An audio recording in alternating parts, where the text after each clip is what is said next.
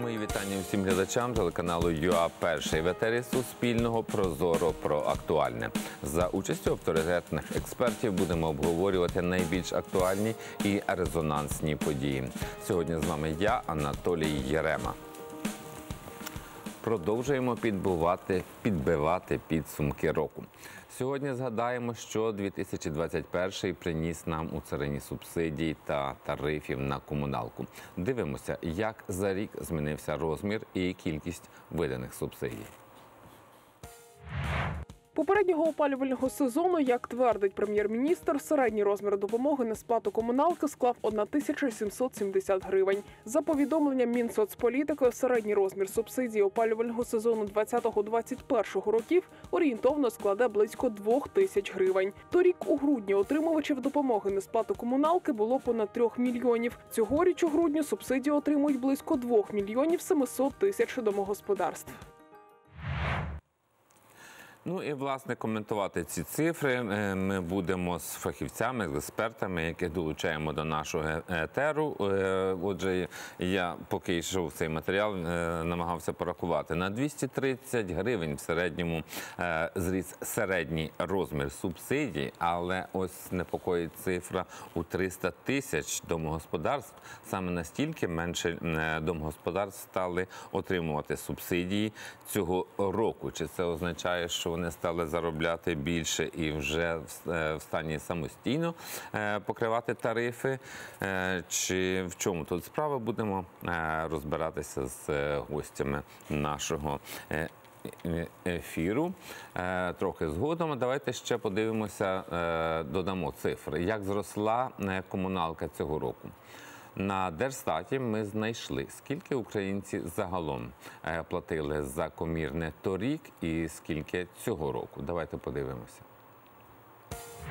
За даними Держстату, в квітні минулого року сумарна вартість комунальних послуг для населення склала 11 мільярдів 400 мільйонів гривень. А в квітні цього року на 6 мільярдів 400 мільйонів більше 17 мільярдів 800 мільйонів. В липні 2020-го 7 мільярдів 800 мільйонів гривень. Відповідно, в липні цього року 10 мільярдів 600 мільйонів на 2 мільярда 800 мільйонів більше. В жовтні минулого року нарахування за комуналку становили 11 мільярдів гривень, а в жовтні 2021-го 16 мільярдів 400 мільйонів, тобто на 5 мільярдів 400 мільйонів більше, ніж в 2020-му. Отже, маємо і тут значне зростання. Зараз будемо коментувати ці цифри. Е, Запросили до участі у нашій програмі Олексія Кучеренка, міністра з питань житлово-комунального господарства України у 2007-2010 роках. А нині першого заступника голови комітету Верховної Ради України з питань енергетики та житлово-комунального е, господарства. Е, Пане Олексію, вітаємо в ефірі Суспільного. Ось маємо цифри тарифів, скільки верніше не так тарифів, як нарахування за е, комірне, які значно зросли, і е, маємо зростання середнього розміру е, субсидій, які отримують люди для того, щоб сплатити ці тарифи. Як ви вважаєте, ось це зростання субсидій покриває зростання тарифів? Дякую за запитання. Я не думаю, що зараз хтось може дати чітку відповідь на це питання. Переконаний, що і уряд, коли робив проект бюджету, він, е, ну умовно кажучи, дуже приблизно оцю суму 38,4 мільярда брав. Я б сказав так, із стелі він її брав. Е, пояснюю, чому. Ну, по-перше, вона вже є меншою ніж закладено було в бюджеті сумарно на 21 рік, бо там було 47,5 мільярдів, а заклали на наступний рік 38,4. Тобто, мій прогноз, що ця сума субсидій буде вибрана е, за перші півроку. До речі, те саме відбулося і цього року на початку, коли вже вибрали цю суму. І уряд буде звертатися, як завжди, за додатковою сумою, ну з гаслами такими. Ми ж за народ, ми ж ми любимо народ, депутати люблять народ, всі люблять народ. Дайте грошей народу на субсидії. Бо спрогнозувати, що відбудеться з тарифами і з платіжками, точно вам кажу, уряд не в змозі. І от яскравий приклад, ваша чудова статистика, яку ви наводили. Да? Беремо жовтень 21 року, 16,4 мільярди. А жовтень 20 року 11 мільярдів. Тобто приріст на 5,5 мільярдів мільярдів. за один І місяць. це так. при тому, да, і це при тому, що обіцяли ж не підвищення тарифів. І дійсно тарифи на тепло не мов би не підвищуються. А нарахування, тобто платіжка сума, воно збільшується, як ми бачимо. До речі, зараз вода холодна по всій Україні, там скакане на 25% в середньому приблизно. Запоріжжя там і на 50 буде, там в інших і так само. І оце питання: а що ж там такого в воді так відбувається? То треба воду під шумок, під ялинку підіймати. Це нацкомісія нам такий сюрприз е, підклала. Нацкомісія з регулювання енергетики та комунальних послуг. Е, до- додалися послуги додаткові, е, абонентська плата, утримання внутрішньо будинкових мереж. Це так само буде збільшувати платіжки. І от зараз на початку січня ми побачимо дуже характерно, що в листопаді у нас коли підрахують е, як за листопад зроса, бо це ж почався опалювальний сезон. Я думаю, там приріст буде значний. Так, І ми, тому ми власне шукали, гарантована- але е, за листопад Держстат ще не дав нам цифри, а А вони чекають, даними. бо за листопад. За листопад розрахунки йдуть е, до кінця грудня, і я думаю, це на, початку січня буде ось таким запізненням. Розумієте?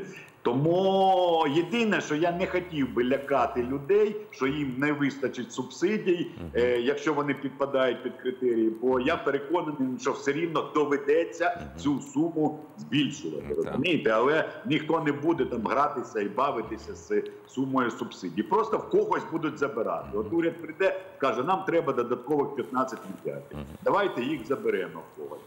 Скажемо, давайте на великому будівництві заощадимо. А вони скажуть, а навіщо? Давайте на світі краще. Ну розумієте, отут буде, як завжди, е, така боротьба. Ну. Пане Олексію, уряд може забрати і в самих субсидіантів, що вже зробив. Наприклад, е, е, та статистика, яку ми наводили, було у нас 3 мільярди домогосподарств, е, які отримують субсидію. Зараз 2 мільярди 700 тисяч. 300 тисяч домогосподарств Дивіться, це не так вже й мало.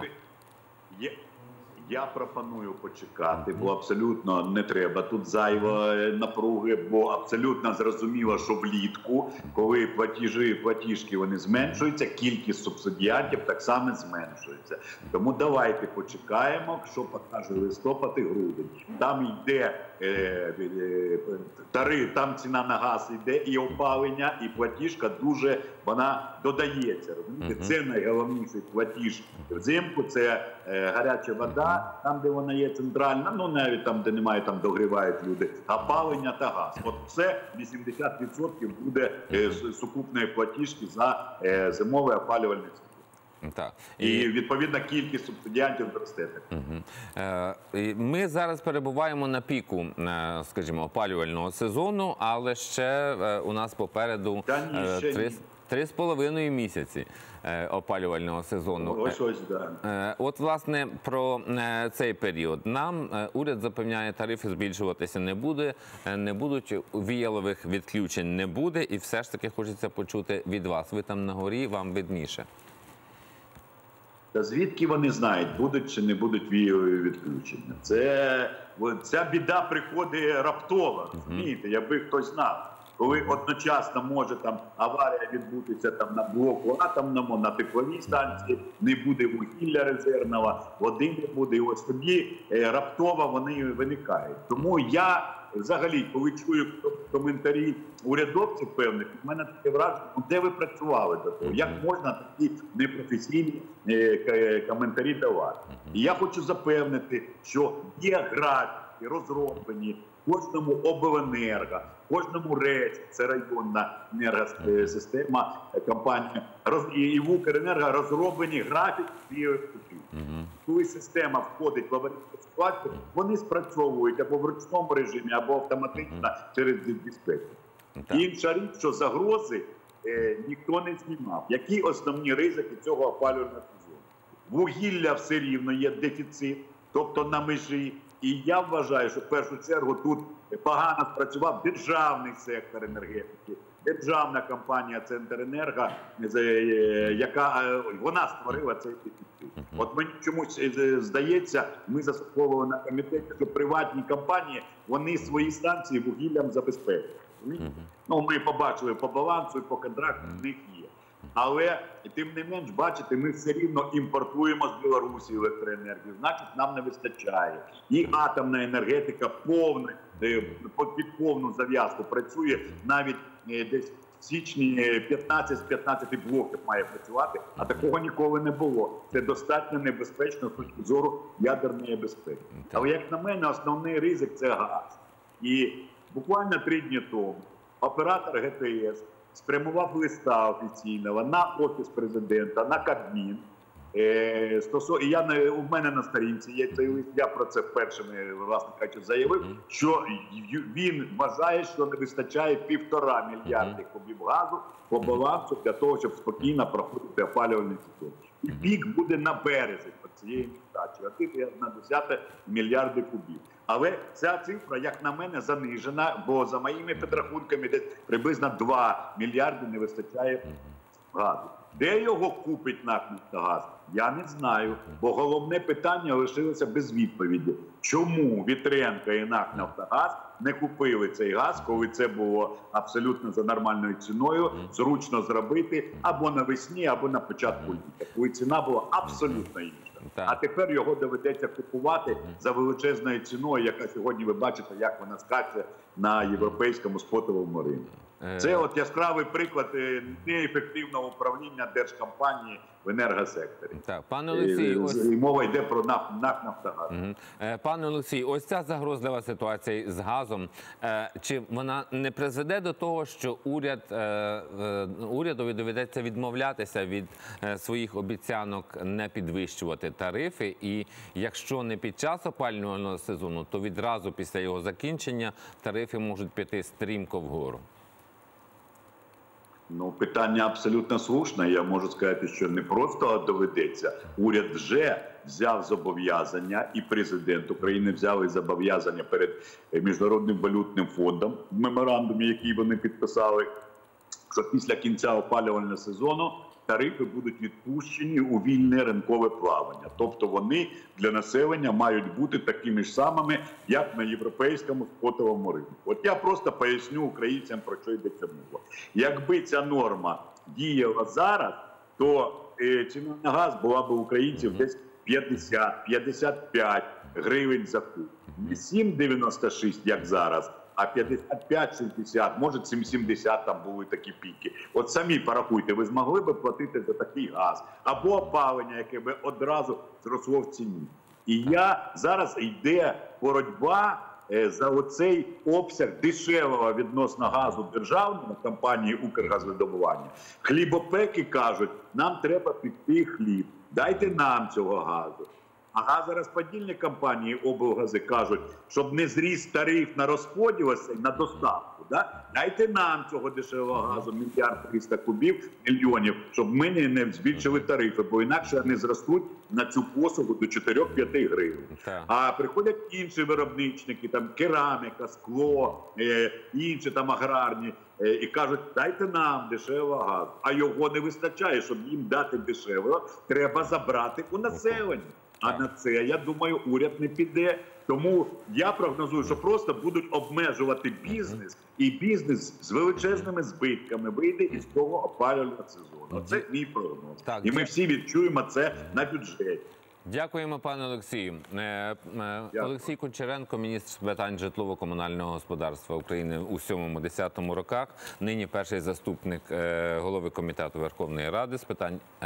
Е, Енергетики коментував е, стан із виплатою з, е, призначенням субсидій і тарифами на комірне в Україні цього року і прогнози на наступний.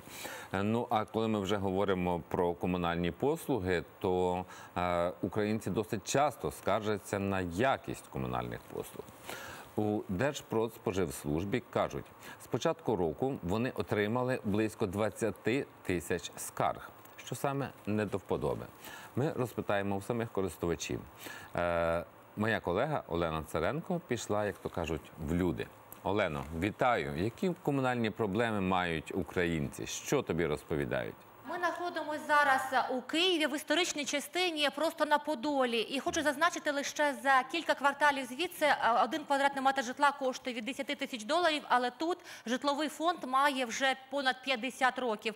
Е, Ми спілкувалися із мешканцями цього будинку, який вже дав тріщину. Тут також є щури, на стінах грибки. А що чи задоволені? А люди сплачують у повному обсязі за комунальні послуги. Чи задоволені е, своїми е, комунальними послугами та умовами проживання? Прошу вас поділитися. Незадоволені. Незадоволені. Я вже проживаю 42 роки, не, не задоволена кому- з- ж- де те, умовами житла. Що для вас що для вас є найжахливішим е, у цьому будинку? Ремонт не робився вже 42 роки. Ніхто не робив парадних ремонтів. Грибок. Ми також бачимо мешканців пенсіонерів, які в повному обсязі сплачують за комунальні послуги і е, просто вийшли для того, щоб розказати про свою біль. Що вас турбує? турбує, бо батареї холодні, а платимо в повному обсязі. Парадні е, сиплеться штукатурка, криси бігають, миші бігають, двері не закриваються, тому що їх діти угробили, собак бігають теж. Ми мали можливість е, піднятися в кілька квартир і е, побачити, в яких умовах перебувають кияни, але поруч зі мною також є е, активний мешканець цього будинку, який покаже, що ж тут у під'їзді відбувається. Ну, зайдемо, подивимося. Де нічого не закрито, можуть діти впасти. Ось так опалюється наше парадне. Таке освітлення ми маємо. Я ніхто ніколи в житті лампочки не міняв. Звісно, тут і електрик побоїться, звісно, подлізти сюди. Вона з цієї, сторони стіни теж будинку скоро падуть. Вікна гнили там, все гниле. Из-за боли оно, скорее, что мы страдаем. Ми показали зараз вам, які умови у під'їзді. І хочу також е, попросити оператора. е, Ще залишаються кияни, які хочуть розказати нам, чому е, для вас в вашому будинку пішла тріщина прямо у вікно. В яких умовах ви проживаєте? Умови ужасні. Парадне, як ви бачили, все в грибках. Е, Тріщина пішла вже давним-давно, ніхто за нею не дивиться, ніхто не, не дивиться, чи вона більше, чи вона менша. У мене з хати йде, е, а тоді вже далі на наружі йде трещина. Ну, хто його знає. Раніше годами там бігла в підвалі вода. Може зв'язано з цим, а може зв'язано там у нас був кафе кораблик, там зробили Дякую. е, подвал вирили. Може з цим зв'язано. Я не знаю. Но трещина Дякую. Отже, е, ми могли побачити, що кияни, які мешкають в історичному місті Києва на Подолі, е, звертаються із скаргами до відповідних органів і, зокрема, незадоволені якістю надання комунальних послуг. Студія.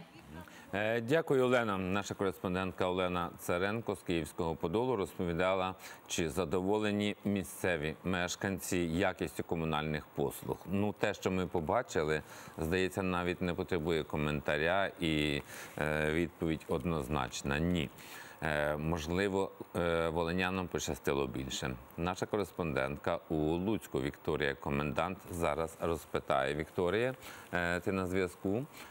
Скажи, будь ласка, наскільки волиняни, зокрема лучани, задоволені якістю комунальних послуг, які вони отримують? У центрі Луцька на театральному майдані е, запитували ми сьогодні лучан е, про якість надання комунальних послуг, е, цікавилися найбільш поширеними проблемами. Ось, приміром, ще влітку у Луцьку активно говорили про відсутність територій для паркування автомобілів. Про сьогодні взимку вже зовсім інші акценти. Зараз люди здебільшого нарікають на відсутність індивідуальних теплових пунктів, е, тобто неможливість е, економії заощадження на енергоносіях. А також е, чуємо від містян про те, що вулиці е, у Луцьку слизькі, тобто недостатньо дбають про посипання прибудинкових територій асфальтів в суміщу із піском. Ось що говорять лучани. Давайте зараз послухаємо їх. зобов'язання комунальники? Е, Підгайцівська сільська рада повноцінно виконує свої зобов'язання по вивезенню сміття. Е, Я реально задоволений. Все відносно. Дороги погано чистяться. В приватному секторі живуть, у мене їх мінімум. Це дороги. Це дороги, в основному дороги. Я не сказав би, що в мене є якісь особливі претензії. Мається на увазі, якщо по-нормальному е, будинок має зробити ОСББ, і проблеми в принципі вирішуються самі собою, що керуючий ОСББ адекватна людина. Зараз, напевне, більш в більшості квартирах, наскільки я знаю від друзів, не є та температура, яка потрібна. Хотілося б кращого. Хотілося б Так. у чому?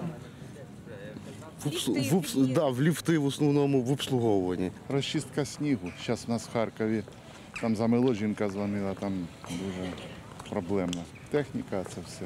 Ніби палять, але в будинках все рівно холодно. В Луцьку 1700 багатоквартирних е, будинків і близько 700 із них охоплено ОСББ. Ось е, така ситуація із комунальними е, проблемами наразі існує в нашому місті. Студія. Е, Дякую, Е, Вікторія. Вікторія Комендант, наша кореспондентка у Луцьку, розповідала про те, наскільки волиняни задоволені якістю, якістю комунальних послуг.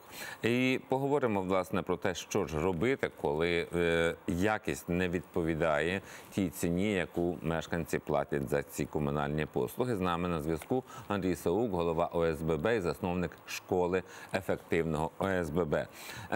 Пане Андрію, щойно нам один чоловік е, з Луцька сказав, що е, потрібно створити ОСББ, і якщо воно створено, і його голова адекватна людина, як він сказав, тоді всі питання будуть вирішені. Чи прав е, чи насправді ОСББ це така панацея від усіх проблем? Дуже вітаю, дуже радий бачити. Насправді ОСББ це інструмент. Це інструмент ухвалення рішень і управління багатоквартирним будинком. Але це не єдиний інструмент і абсолютно не панацея. Тому що якщо ОСББ створили абсолютно люди несвідомі, які очікують, що якщо створ- створити ОСББ, то все буде добре, то це не так. ОСББ так само треба, щоб була людина або краща група людей, які будуть розуміти, що робити, як робити, куди рухати, тому що будинок це велика, важка, складна інженерна споруда з багатьма системами, які потребують професіонального підходу. Тому тут ОСББ не панацея, а просто найкращий інструмент для управління будинком. Але все одно треба руки, які вмітимуть ним працювати. Так, ну і люди, які можливо більше працюють, ніж менше говорять. Так що, коли обираєте голову СББ, теж зважайте на те, на обіцянки, чи людина вміє тільки давати обіцянки, чи вміє їх виконувати. Чи правильно я вас зрозумів?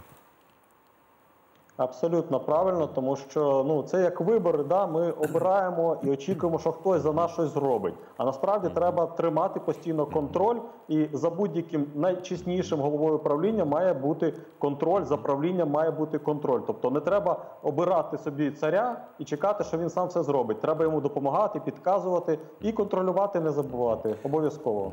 Е, Пане Андрію, хочу ще е, е, ось одна цифра мене зацікавила. Наша кореспондентка з Луцька сказала, що у місті 1700 багатоквартирних будинків і ОСББ створено лише у 700 е, 100 з них. Отже, тисяча багатоквартирних будинків залишаються на попередньому статусі. Все ж таки, це дуже велика кількість. Я думаю, що що в інших регіонах е, ситуація може бути і ще гіршою. Все ж таки, от людям, які ще не створили, але от зараз їм сьогодні холодно. Створення ОСББ, я з власної практики знаю, що це, по-перше, не швидкий процес.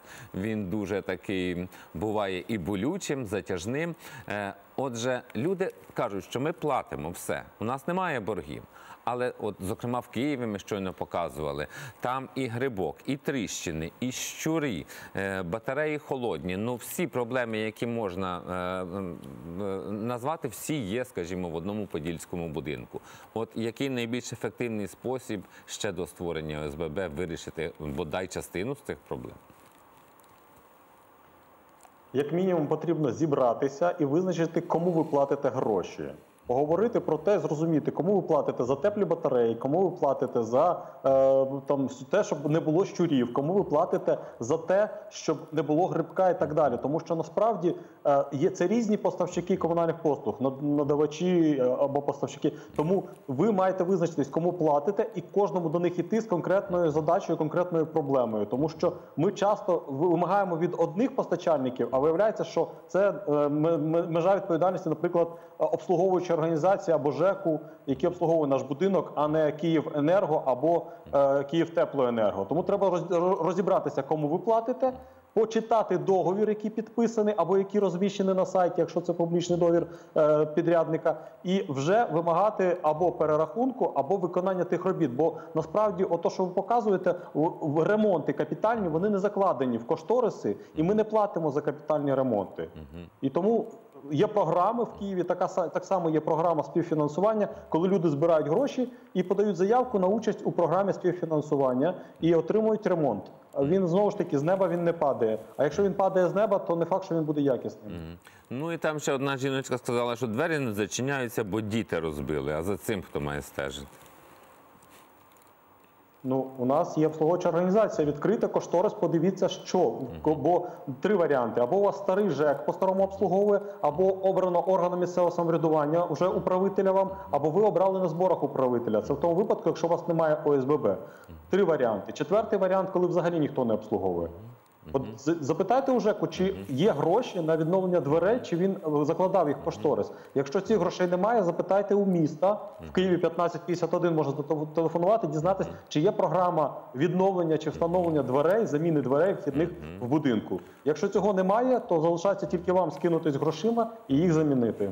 Е, Дякую, пане Андрію. Андрій Саук, голова заску- е, засновник школи ефективного ОСББ, давав поради, як можна вирішити проблеми з якістю житлово-комунальних послуг. І далі змінюємо тему. Сьогодні президент скликає засідання Ради національної безпеки і оборони України. Певно, останнє цього року. У 2021-му Радбез був доволі активним. Зокрема, запровадив санкції проти низки юридичних осіб та політичних діячів. У лютому під санкції потрапили канали 112, News One та ЗІК разом з їхніми власниками Тарасом Козаком і Володимиром Медведчуком. У квітні санкціями почали боротися із контрабандистами. У травні запровадили спеціальні санкції до так званих злодіїв у законі. У червні у санкційний список додали бізнесменів Дмитра Фірташа і Павла Фукса. А наприкінці грудня під санкції потрапили канали Перший Незалежний та Укрлайф. До нас долучається політичний експерт Тарас Загородній. Вітаю, пане Тарасе. То чого очікувати від сьогоднішнього засідання РНБО? Чи е, очікуєте ви, наприклад, якісь якихось сюрпризів? Ну, можливо, не так ви, як дехто з наших е, відомих українців е, персонально або якихось організацій? Е, ну, дивіться, подивимось, е, що там явлено про енергетику, то подивимось, що там буде взагалі обговорення. І ви повинні розуміти, що в будь-якому разі РНБО це не є виконавчим органом, а консультативним органом влади. І е, в багатьох випадках рішення в тому числі указом президента, е, можуть бути оскаржені в суді. Скоріше за ті тепер осіб, про які ви говорили, вони будуть оскаржені в суді, вони виграють е, всі суди. А вже є неодноразові випадки, коли укази е, Зеленського скасовували в судах в Верховному суді. Зараз в цьому випадку, і всі інші також буде скасовано, скоріш за все. А поки що, поки що, так у нас воно на такому тримається, що оскільки у нас напівфеодальна країна, так все рівно е, голова держави є головою держави, так і ніхто не хоче зайвий раз сваритися. Тому, скоріш за все, будуть виконувати або не виконувати деякі речі. І, але тут теж залежить від інтересу. Я щодо енергетики, я не виключаю, що можуть бути якісь е, е, можуть бути якісь рішення щодо або е, наприклад, кабінет міністрів розробляв е, рішення щодо впровадження тимчасових так званих адміністрацій деякі активи не виключено, що це може бути зроблено щодо е, деяких активів вугільних е, електростанцій. Пане Тарасе, залишайтеся з- е, нами на зв'язку, будь ласка. Ще маємо одного експерта, Михайло Бесараб, політолог, теж з нами зараз на зв'язку. І е, у мене запитання до пана Михайла. Е, ось щойно пан Тарас озвучив, які можуть бути прийнято рішення щодо кого на сьогоднішньому засіданні РНБО. Але дехто з експертів вважає, що е, можуть на цьому засіданні і е, е, призначити санкції щодо п'ятого президента України Петра Порошенка. Чи ви теж так вважаєте? Ну, в мене немає е, інформації про це рішення або про відсутність такого рішення чи таких намірів. Е, Тому якась ймовірність цього існує. Е, Чи станеться це, мені невідомо. І я думаю, що швидше за все цього не відбудеться. Та. Е, Але знову ж таки, це, це припущення, яке не базується на е, доступі до якоїсь інформації. Це суто суб'єктивне припущення. Так, ось щойно пан, е, пан Тарас сказав, що е, в нього є сумніви в ефективності такого е, методу, як санкції, тому що буквально всі фігуранти цих санкцій мають шанси виграти їх у суді. То навіщо взагалі ці санкції запроваджувати, якщо їх так запросто можна оскаржити? Ну, поки що у нас е, принаймні невідомо так про якісь резонансні е, е, санкційні рішення, які були успішно оскаржені в суді, і процес остаточно закінчився визнанням неправомірності такого рішення. Загалом це така, знаєте, ну глибока експертна дискусія. Безумовно, санкції, які стосувалися цілої низки українських громадян, там, наприклад, баптистів чи е, деякі інші рішення, вони викликали сумніви серйозні. Але, от, наприклад, я б не змішував це все в один котел, тому що, наприклад, е, Медведчук і інші представники п'ятої колони і їхні телеканали, які відпрацьовували пропагандистські завдання з Росії, цілком цілком заслуговували санкційних рішень боку України, тому що вони взаємодіють з агресором. Е, Дякую, пане Михайле. А пане Тарасе, те саме питання до вас. Е, Чи е, як ви вважаєте, яка ймовірність того, що сьогодні будуть розглядати санкції проти п'ятого президента України? Е, ну, дивіться, ну в нашій країні теоретично все може.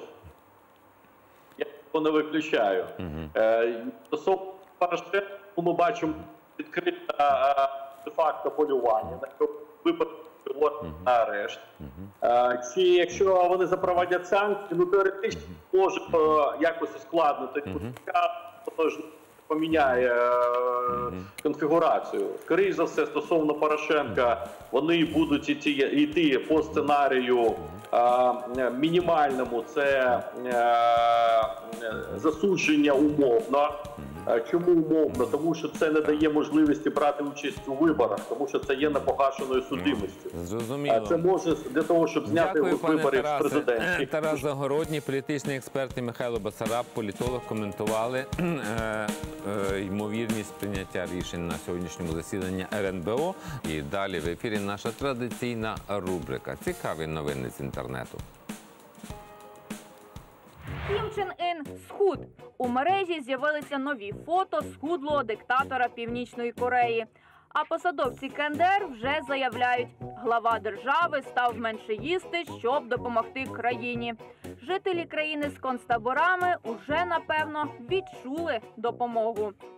Вакцинувався ковідом. Микола Тищенко знову втрапив у черговий курйоз. Цього разу він розповів ведучій програми Світське життя Каті Осадчій, що вакцинувався коронавірусом. Вже за кадром уточнив, що це був Pfizer. Якою вакциною вакцинувалися? Я е, хворів на ковід, потім я вакцинувався ковід. У США велике торнадо накрило кілька штатів. Одна з мешканок міста Мейфілд втратила свій будинок. Також зник і її улюблений собака. Жінка вже не вірила, що зможе знайти свого пса. Однак, коли американка підійшла до руїн свого будинку, вона побачила свою нолу. Собака одразу кинувся до господині. Усміхнулися, то й добре. Збережіть цю усмішку до вечора. Гарного вам дня. До зустрічі завтра.